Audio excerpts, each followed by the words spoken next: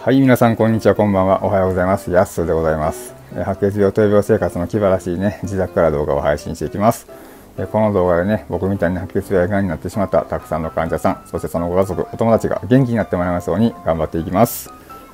そして皆さん、この動画配信をきっかけにですね、ぜひ、献血骨髄バンクにご協力ください。皆様の血液が必要です。日本全国世界中で YouTube を見ている皆様、どうぞよろしくお願いします。はい。えっ、とね、ご飯が嫌いになりました。お米。すごい嫌いになってしまったんです。大好きやったのにね。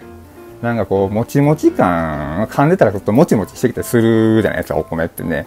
それが苦手になってきたんですよね。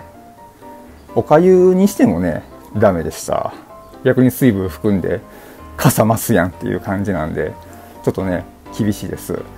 こう味覚障害が新しくなった感じなんかなって思ってる、来てるところもあるんですけど、味覚じゃないんですよね。味はするんです。ご飯の味を感じることができるんですけども、食感がね、なんか無理やなってなって、すごい今嫌なんです。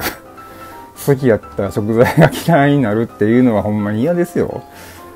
まあ、口の中がね、叩いて痛いってのもあるんですけど、まあ急にこんな感覚になってきてるんでね、さっきも言いましたけど、ほんまにへこんでおります。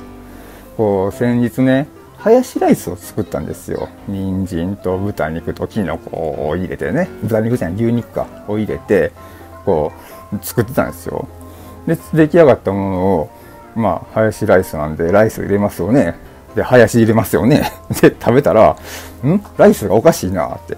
今まで食べてきたこのハヤシライス感じゃないと。なんでこんなもちもちしてるんや。おかしいなってなったんです。で、まあ、その前に食べたカレーの時も、なんか違和感感じたんですよね。まあ、その頃からちょっと始まってたんかもしれないです。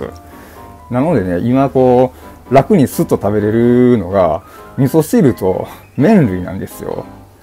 まあ、そうめん、ラーメン、あ焼きそば、冷やし中華ね。でもこう、なんて言うんでしょうね。麺類でもね、パスタはちょっとスパゲッティあるです、スパゲッティ？スパゲッティはどこかちょっと粉っぽさがあるんですよ。で、ちょっと食べにくいですね。ああと、長崎ちゃんぽんのあの太さもちょっと苦手かな。どんだけ柔らかくね、湯がいてもらっても、この太さがあると違和感を感じます。困りました。もうほんまに困ってますよ。ほんまにさっきから何回も何回も言ってますけどね。ほんまにご飯大好きやったんですよ。大食いやったしね。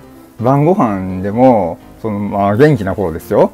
その晩ご飯の時にごお米は3合は食べてましたし、あの吉野家の牛丼の並3倍ぐらいはペロッと食べてました。もうそれぐらい好きやったのにね、なんかこう、その頃の栄光じゃないですけど、まあ過去の栄光みたいに言ってますけど、まあその頃のようにね、元気にもりもり早く食べるようになりたいです。ほんまに悲しいです。という感じでした。えー最後まで見ていただきましてありがとうございました。この動画がいいと思ってもらえましたら、グッドボタンとチャンネル登録をよろしくお願いします。本日もご視聴ありがとうございました。バイバイ。僕は元気です。